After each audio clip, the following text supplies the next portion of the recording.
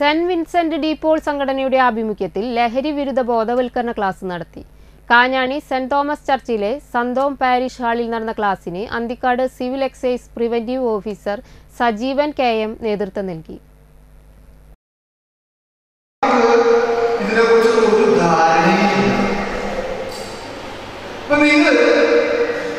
ഇവിടെ മദ്രാസ്